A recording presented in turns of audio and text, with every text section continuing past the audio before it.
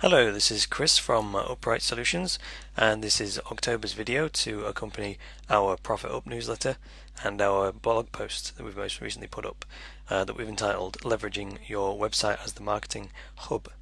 What the article demonstrates is that really no matter what marketing medium that you use, all roads ultimately lead back to the web.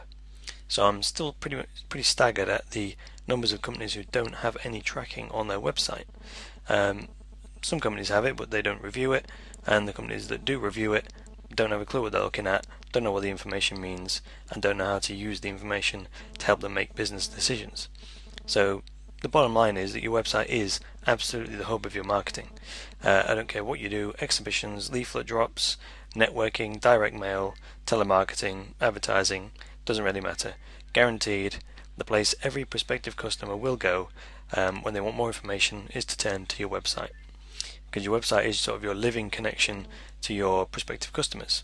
It's dynamic and changeable and interactive, or it should be anyway. Um, and if you want to maximize the expenditure on your marketing, uh, you don't want to let people fall through the cracks. So don't forget that uh, website visitors are goal driven. So they once they've read your leaflet or seen your company at a trade show, then they'll go to your website for a specific purpose. And if your website doesn't serve that purpose, you may as well have not bothered spending the time and money going to the trade show in the first place. So back to the idea of uh, web tracking. Web analytics, as it's called, uh, isn't just a means of segmenting your website visitors into categories, like we see here, um, into sort of visitors that come from search engines, uh, online directories, and so on. But you can also use it uh, with professional help to track your offline marketing. So the holy grail of business has always been um, knowing what activity influences or generates new business. And if we could get a better idea about what that is, then we'd make a lot more money at the end of the year. And web analytics can go a long way to helping us achieve this. Uh, so by default, as you can see here, Web Analytics categorizes your website visitors into three major categories. Uh, visitors from search engines, visitors from other websites or referred traffic, and uh, visitors who typed the address in or had it in their favorites, which is direct traffic. Uh, but there's nothing to stop you from creating as many categories as you like, you know, allowing you to see exactly how many people were compelled by whatever piece of marketing material they came across. Uh, obviously, with an offline piece of marketing, there's only so much information on that. So if people want to read more, the guaranteed the place they're going to go is to your website and you want to know, you know, what proportion of people are actually doing that on a campaign by campaign basis. So the next time you go to an exhibition or a trade show, um, or if you put out uh, an advertisement, what I'd recommend you do is spend £10 on a brand new domain name that relates to whatever the offer was at the time. So you might register uh, Christmas chocolate offer.co.uk and then or you wouldn't put a website at that address, you'd just forward it to your existing website or a page on your existing website. Um, the purpose, of course, being is then you know the only place you would have published that website address is in that particular campaign or advert or at that particular trade show. So later, when they go to view more information, they'll visit that web address that was in the promotional material. Um, and we actually use this ourselves.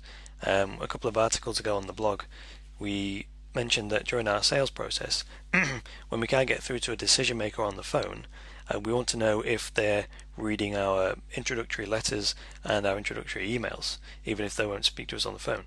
So as you can see here in in this graph, normally you just have the, the three segments, the red, the green and the blue, but because of what we've done with um, creating additional segments, we've got this uh, sort of yellow area appearing here. Um, so under the traffic sources, if I view the full report here um, and go down here, we've got all the standard stuff, Google traffic, but this is one we've created here, the email footer traffic. So whenever someone gets an email from us and wants to know more, you know, typically you have your website address in the footer of your email. Well, anytime someone clicks that, when I send them an email, um, it will register that as a visit to our website in this area.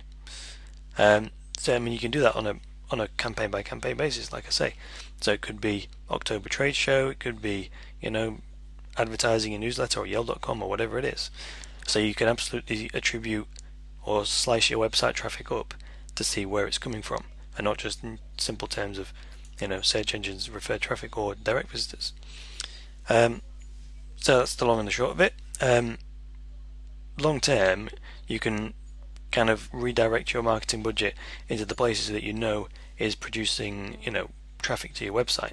And ultimately, if you've got um, tracking set up on your online forms and so forth, you can actually determine uh, the source of the of the web inquiries. So if someone originally came across you at a trade show, then went to your website, then submitted an inquiry, um, if you've got some web analytics set up correctly, you can you can follow that daisy chain all the way through. So at the end of the month, when you've got a list of 50 inquiries, you might be able to attribute 10 of those inquiries originally to a trade show you did a month ago, or two weeks ago, or whatever. So the upshot is, you know, to stop shooting yourself uh, in the foot, um, stop shooting in the dark with your marketing money, and uh, embrace web analytics to give you that greater insight. Uh, if you want any more information on this kind of thing, then uh, please discuss it with us directly and uh, get in contact, and we'll be glad to help you. Alright, until next time.